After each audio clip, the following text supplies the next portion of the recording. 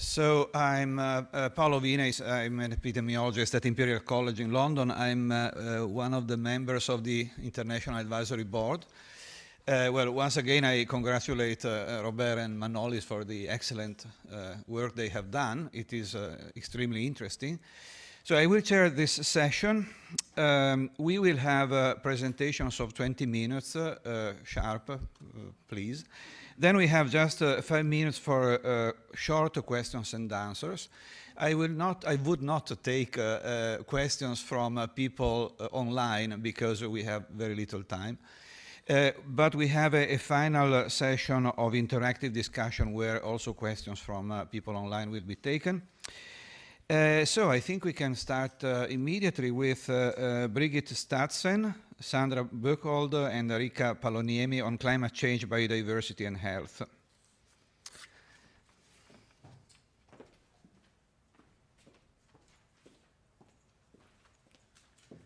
Uh, thank you and good morning.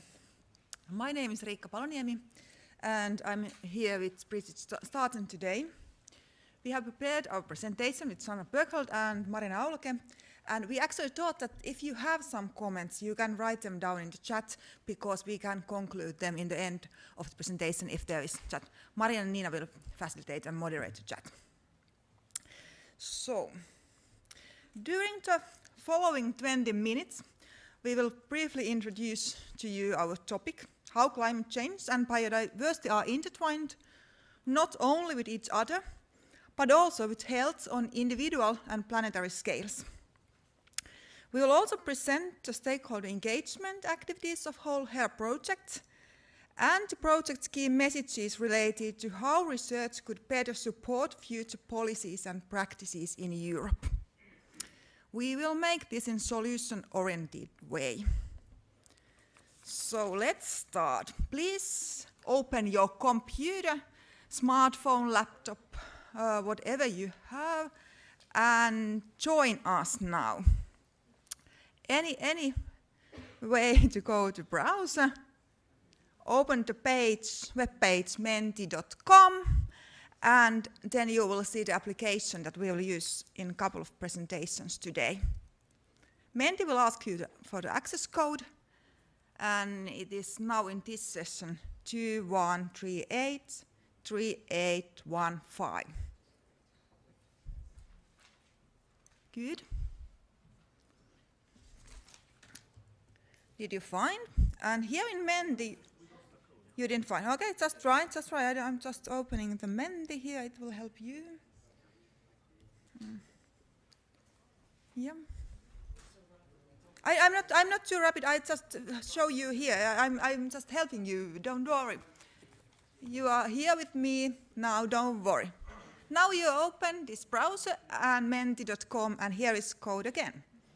And now we are in the same place. I'm not hurrying you, but just getting you into this presentation and the team.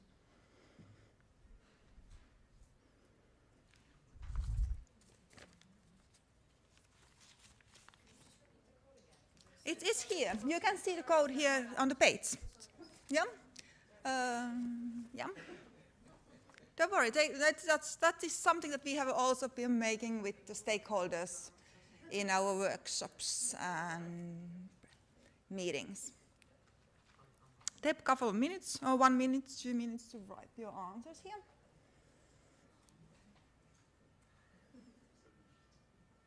These are statements we have constructed based on possible or even probable future scenarios.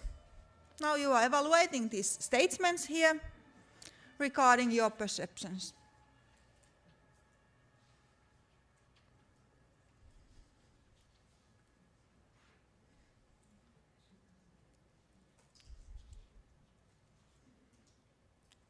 So looks excellent.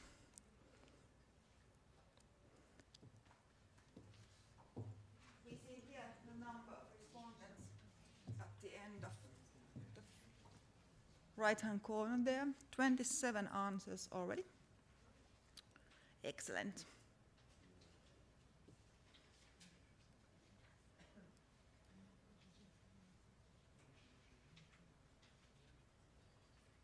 Perfect, we are getting more answers all the time, which is wonderful.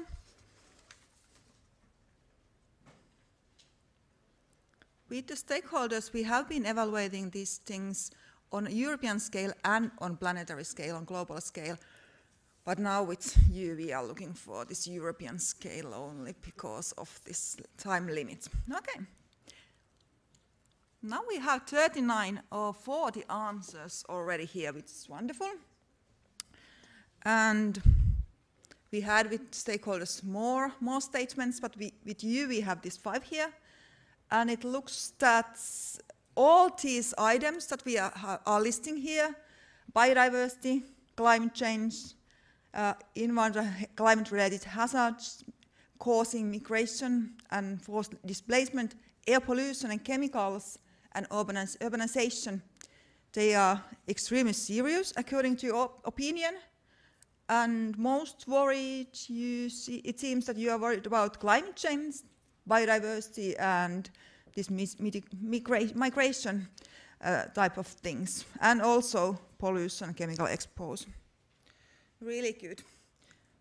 Similar answers with those of stakeholders. Yes, mm, thank you for answering.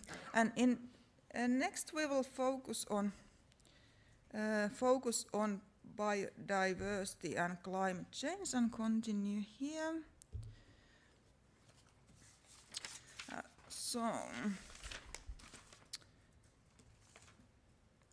Several recent international reports, for example IPCC, IPBES, WHO and the Lancet Countdown, have described the current planetary landscape and the fact that we are already risking the safe planetary boundaries related to both climate change, uh, here in the figure, and climate change. Oh, climate change. Where's climate? On top, on top, yeah, here, yeah, here. Uh, climate change here. You can see it there. Okay, thanks. Perfect. And novel entities, plastic, for example, and other teams. These red are showing the seriousness. But both climate and biodiversity, serious challenges, as you also reflected in the Menti a few minutes ago. The environmental consequences and related health impacts of major global changes caused by human actions are expected to be serious and likely unevenly distributed, causing major consequences for health equity and political stability. Thus, the report highlights the urgency to act. However, while acting, attention should be paid to the nature of the global major challenges as interlinked wicked problems. That means that the solving of one problem should not worsen the other. In line, climate change and biodiversity has been increasingly integrated in international policies and will be probably integrated even more in the future. In order to understand how we could create such, such, integrated and impactful policies in the climate, environment, and health nexus, we have engaged stakeholders widely to describe their perceptions on the key challenges and various policies and practices which could tackle the challenges, as well as the key knowledge needs in such a process. And this figure shows uh, the stakeholder consultation process that we had had in HERA. We have organized a web-based survey and altogether six regional workshops, ah, sorry, six regional workshops. And uh, these engagement efforts have been uh, supported and mentored by our international advisory group.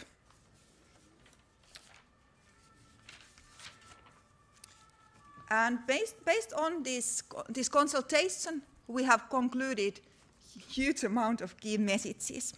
And next, I will briefly conclude the messages from this con conclusion. First, it's important to increase and deepen knowledge on drivers and impacts of various environmental problems and interlinkages between various environmental problems and attempts to solve them. Uh, for example, sustainable development, development goals, climate mitigation, and adaptation, as well as role of biodiversity in tackling climate and health challenges on individual and planetary scales are highly interlinked and should accordingly be better integrated in our knowledge production. Second, socio-economic and socio-ecological aspects should be better acknowledged in research and policies. As environmental health risks affect different population groups differently, further attention should be paid to social injustices among disadvantaged and vulnerable people and explore how we could better integrate justice pers perspectives in research. Third, a bit different but also important aspect, we need improvements in data gathering, monitoring and sharing. We should improve not only ways how researchers share and use data, but also the ways how citizens participate in data gathering and monitoring in the future. And furthermore, it's important to encourage integrated, holistic, and systemic research approaches and multi, inter, and transdisciplinary research, as well as science policy interfaces. On the other hand, we could include social and behavior sciences in environmental health research, but also improve the integration of natural and social sciences, as well as citizen science, in, in research projects and consortia. Together, we hope that these efforts could potentially enable transformative change in society, the perspective that we have been emphasizing today.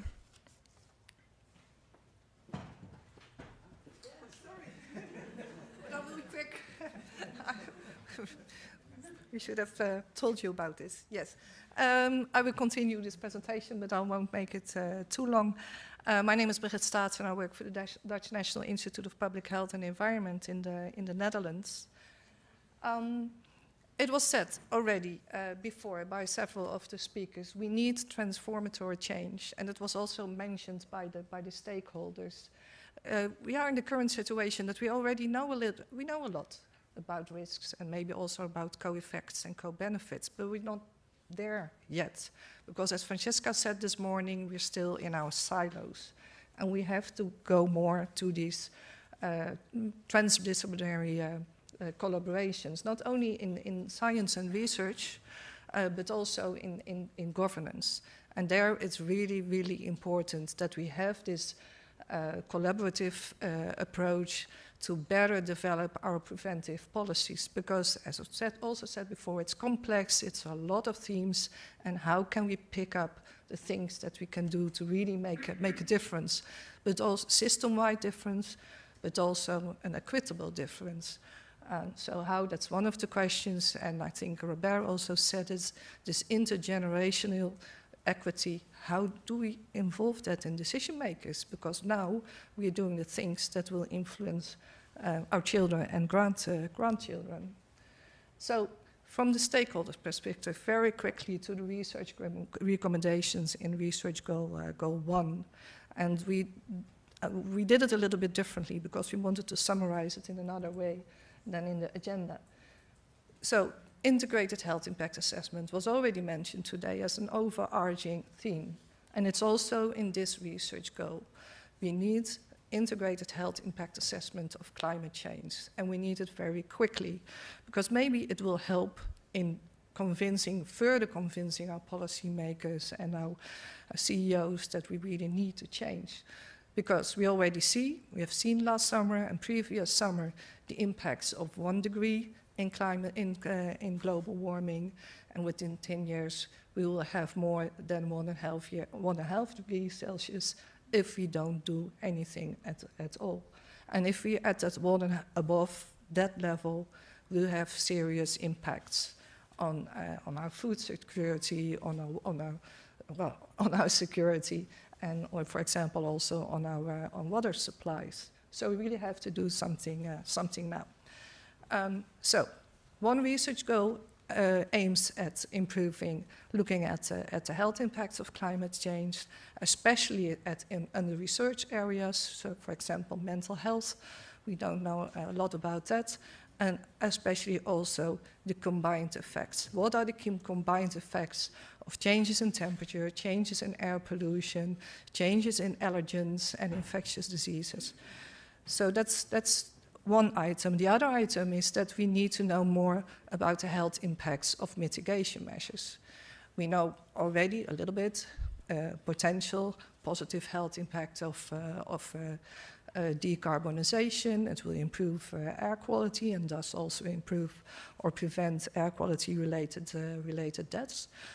Um, but there are still some unsolved issues there. For example, the impacts of wind energy on noise, which is currently an, uh, an, an, issue uh, in, in the Netherlands.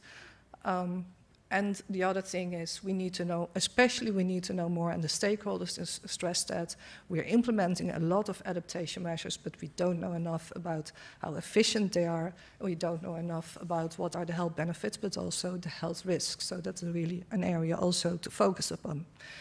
And the other thing what's in, in, that, in that re this research goal is that we need to work on integrated forecast systems and also improved surveillance systems. We have some systems, but they're not really connected, uh, connected well. And in that way, we can be uh, we can be more quick in detecting from, okay, are things working, are things progressing in the way we want them to progress. And finally, Enrica already said it, it's very important to know more about the interlinkages between biodiversity, ecological integrity, and human health and well-being, and especially the relationships between the damage to ecosystems and uh, uh, the, emerge, uh, the, risk of uh, emerging infectious diseases uh, is an important uh, one. So, there's also a research goal on nature-based solutions as an example, of course, for the co-benefits we can, uh, we can think of. Um, and here it says that we, uh, we want more information on those interventions that both encourage have positive effects on impacts on biodiversity and also on, and also on health. And we should distinguish maybe from what can we do in an urban session, set, uh, setting and what can we do more in a rural uh, setting. And finally, also analysis and quantifications of expected health risk and co-benefits from adaptation measures from nature-based solutions such as green and blue, uh, blue interventions. Robert already said it in his presentation. Uh, we have some frameworks, some approaches, some visions. Uh, we have One Health, we have Eco Health, we have uh, Planetary Health. And all these visions are an improvement from the traditional uh, health vision we had, which was medically uh, oriented. Um, but all these visions also have in common that they uh, try to link to other themes. One health to animal conditions, uh, eco-health, of course, to ecosystem and planetary health. Well, I think the word is really how is health related to our planetary boundaries. So this is an overarching vision of HERA, that we want to uh, work with these, these holistic approaches. And with that uh, perspective, we have research goals on that we need to develop a framework for better exploring nature-related health risks and benefits. So it's not enough uh, to, to look now and try to quantify, but we need a framework to explore, further explore. We have a separate research goal on the social ecology and evolution of uh, biological agents uh, because we don't know enough yet from how, uh, how do biological agents, how do they, uh, how is their pathway, the route through the ecosystem and finally to, to, to human people. And of course, we, well, we know after two years of pandemic how extremely important this is to get better insights in, uh, in how uh, biological agents finally uh, are becoming a problem. Um, um, the other um, research goal under this, this umbrella is the development of a European planetary health uh, diet. So we diet. So we really um, uh, need to focus more on how can we develop a sustainable uh, food for, for our European population, but which still also has a high, a high quality. And finally, and this was already said, we need an integrated planetary health monitoring system because all these things, as Riikka said, it's, uh, it's interconnected and intertwined, uh, and we need to, to, to get an, an, a shared understanding of the, of the, of the causes of these uh, uh important uh, developments. implementations was already discussed. We need really, we need, we need a change. And how can we achieve this societal change? And how can we support this transformation for more sustainable societies? Um, and for that, we need more implementation research. We need to translate, if we have a good evidence base, we need to translate that in, uh, into, into practice. But we have to take into account that the difference, uh, uh, it's, it will be, has to be done differently in different contexts, and we know, need to know more about that. And we need to know more about uh, the, the motivation, the opportunity, and uh, um, the, of, uh, and the capability of, of, of, people, of communities, of authorities to change behaviors. How can we really, how can we go from evidence to awareness uh, to a change in, uh, in, be in, behavior and to a change in, uh, in policies? And these research goals will provide more insight in that. And I've also added here the research goals for the, for the health sector. Um, this is a special one within the research agenda because the health sector is re really responsible for a lot of not only uh, CO2 emissions but also other emissions, and there is really a world to win uh, there. But that also means that they have to work together really with all the healthcare people. It's, it's, a, it's a different approach than when you are electrifying, uh, uh for example, mobility, the mobility sector. So we need effective impl implementations and effective implementation will also improve our science policy society dialogue. Um, and I want to give you an example how important this, this is. Uh, I was just talking, we need, uh, we need to work on, uh, on sustainable food because it's a very important contributor to uh, preventing further climate change. Uh, it's, all, it's also a very important part of the European Green Deal, but at the same time, uh, the European Commission still uh, pays money for advertising meat consumption. So what goes wrong there? What did we, what did, what did we do wrong there that one part of the Commission is really working, really working very hard and doing good work on preventing climate change, and on the other hand, we're still going to continue in, uh, in the same way. So, so we as researchers, we have to do more on our communication, I think. So our conclusion is that we really need this uh, integrated research on climate change, biodiversity and health. Um, we really have to work together and implement on effective policies and practices, use these One Health uh, approaches or planetary health approaches, and finally, it's very important to think about socio-economic and social-ecological aspects. Thank you. I will leave it with there. And also thanks to the, all the, to the team that's behind especially the stakeholder work.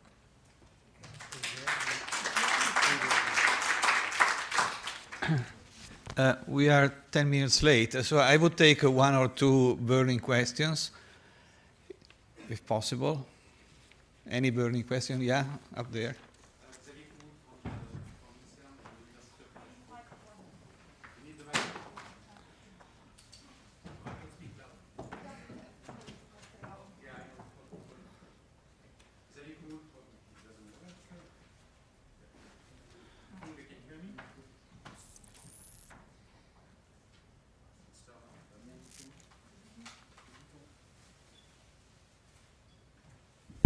Yeah, it's working. Okay. Xavier Coumoul from University Paris-Cité. Um, regarding the dialogue between science and society, how do you consider the key question regarding infox? Infox, bad information, for example, on, on because if you want to dialogue, you know, it, you, if you want to have a dialogue between science and society, you also need to consider this. Yes, uh, very good question, and also a question that uh, the institute I work for is very much involved with that. I think even Nina can tell more about it because she's working for the Corona Behavioral Unit at RIVM. So a lot of fake news passing by. we, we, say infox in France. Yeah. Sorry. Language. um, and actually, I would like also to, to mention WHO here because you have also a, a good policy on, on fake news. And really, uh, you have to follow it. You have to be alert what's going on. If possible, uh, yeah, go start a dialogue, start start talking. I mean, we had uh, issues with uh, uh, the nitrogen crisis in the, in the Netherlands, and well, we invited the farmers to, to come. It didn't work out all that well, but we, we still try to try to do it. Keep in contact, and and and listen, and also try to uh, understand the context that these questions or this fake news is, is, is coming from. And I think that will help a little bit if you, well, not for all people. I mean, some people are too convinced and then, then you cannot change them anymore. But Of course. The, people that are a little bit, hmm, I think then if you have the discussion, or not, not so much the discussion, but if you listen very well to each other, I think that can help. It is one, one approach, Okay. but it takes a lot of time. Yeah. Okay.